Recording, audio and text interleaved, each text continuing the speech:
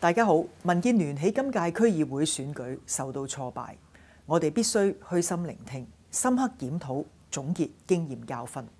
同樣，特區政府亦都要總結今次選舉嘅結果，認真檢討反思。今次區議會選舉係創下超高嘅投票率，同時成個選舉過程亦都喺暴力嘅環境底下進行。因而產生咗好多新問題、新現象，需要特區政府正視同埋立即解決。過去我哋收到大量市民嘅反映、助選團隊嘅投訴同埋質疑。第一個質疑就係暴力衍生唔公平嘅選舉。民建聯候選人從報名嗰刻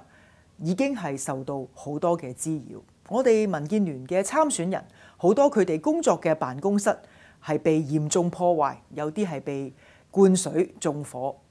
我哋做街站宣傳我哋嘅理念，亦都受到滋擾、被圍，甚至被打。對於呢啲不公平嘅情況，我哋向選舉事務處投訴，但係佢哋冇實質嘅措施係去確保選舉能夠係安全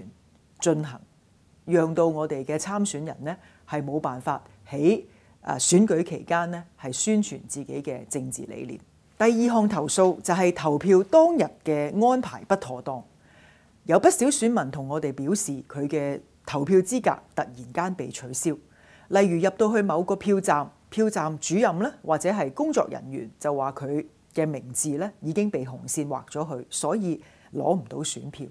另外大家都見到好多嘅票站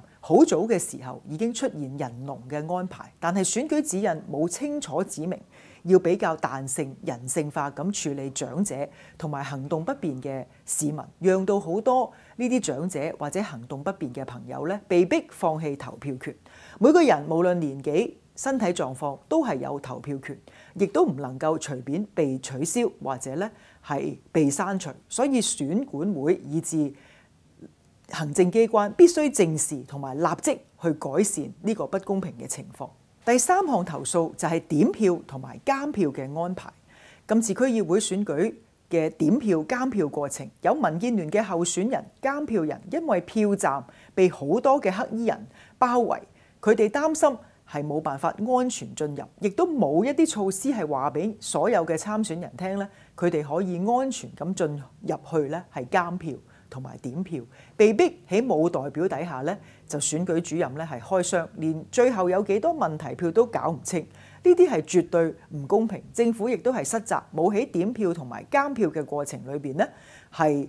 加入適當嘅措施，讓到所有嘅候選人都安全能夠進入會場咧，係進行監票嘅工作。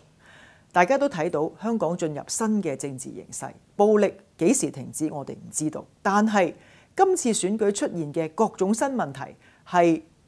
直接產生咗好多不公平嘅選舉現象。我哋唔能夠讓呢啲不公平嘅情況持續。二零二零年就係立法會選舉，我哋強烈要求政府，包括係聂德權局長，以至選管會。廉政公署所有嘅執法部門必須嚴正正視所有一系列嘅不公平選舉現象。如果冇措施改善嘅話，只會進一步打擊選舉嘅公信力，亦都會令到參選人、義工團隊、監票者、點票者係擔憂。所以最後我哋深切要求政府咧係盡快啟動呢個檢討，喺二零二零年選舉前落實改善措施，讓到選舉更公平咁樣進行。